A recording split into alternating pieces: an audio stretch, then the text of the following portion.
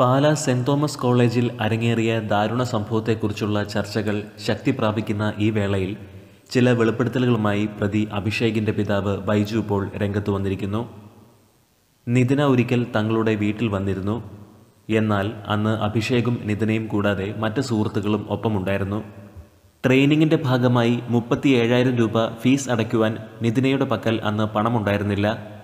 പതിനഞ്ച് ദിവസത്തിനുള്ളിൽ തിരിച്ചു നൽകിക്കൊള്ളാം എന്ന വ്യവസ്ഥയിൽ അന്ന് വള പണയം വെച്ച് നിതിനയ്ക്ക് മുപ്പത്തി ഏഴായിരം രൂപ നൽകിയിരുന്നുവെന്നും പിതാവ് ബൈജു വെളിപ്പെടുത്തുന്നു.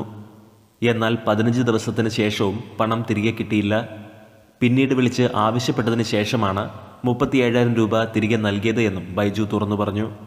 നിതിനയുമായുള്ള അടുപ്പം വീട്ടിലറിഞ്ഞ സമയത്താണ് അഭിഷേക് സ്വന്തം മാതാവുമായി വാക്കുതർക്കത്തിൽ ഏർപ്പെടുകയും അമ്മയെ മർദ്ദിക്കുകയും ചെയ്തത്. അന്നാണ് അഭിഷേക് തല ഭിത്തിയിൽ ഇടിച്ച് പൊട്ടിച്ചതെന്നും പിതാവ് ബൈജു വിശദീകരിച്ചു. നിതിനയ്ക്ക് അഭിഷേകിനെ ജീവനായിരുന്നുവെന്ന് അഭിഷേക് പറഞ്ഞിരുന്നതായും പിതാവ് വെളിപ്പെടുത്തി. അതേസമയം മാതാവിനെ മർദ്ദിക്കുകയും മാനസിക വിഭ്രാന്തി കാണിക്കുകയും ചെയ്തതോടെ അഭിഷേകിനെ കോട്ടയത്തെ ഒരു ആശുപത്രിയിലെ സൈക്യാട്രി വിഭാഗത്തിൽ എത്തിച്ച് ചികിത്സ നടത്തിയിരുന്നുവെന്നും ബൈജു പറയുന്നു. ശാന്ത സ്വഭാവക്കാരനായിരുന്നു തന്റെ മകൻ. കഴിഞ്ഞ രണ്ടു വർഷം കൊണ്ടാണ് അവനിൽ മാറ്റങ്ങൾ കണ്ടു തുടങ്ങിയത് പെണ്ണുങ്ങളുടെ മുഖത്ത് പോലും നോക്കാത്ത പയ്യൻ എങ്ങനെ എങ്ങനെയായി എന്ന് തനിക്ക് അറിയില്ല എന്നും പിതാവ് പറഞ്ഞു. സംഭവം നടന്നതിന് ശേഷം പോലീസ് സ്റ്റേഷനിൽ ചെന്നപ്പോൾ അവിടെ വെച്ച് നിതിനയുടെ പുതിയ കാമുകനെ കണ്ടിരുന്നു എന്ന ഞെട്ടിക്കുന്ന വെളിപ്പെടുത്തലും ബൈജു നടത്തിയിരിക്കുന്നു.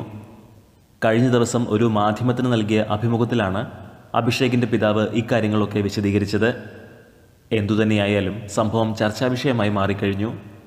പിതാവിന്റെ ഈ തുറന്നു പറച്ചിലിനോട് നിങ്ങൾ പ്രേക്ഷകർ എങ്ങനെ പ്രതികരിക്കുന്നു? കമന്റുകളായി രേഖപ്പെടുത്തുക. ഞങ്ങളുടെ യൂട്യൂബ് ചാനൽ സബ്സ്ക്രൈബ് ചെയ്യുക.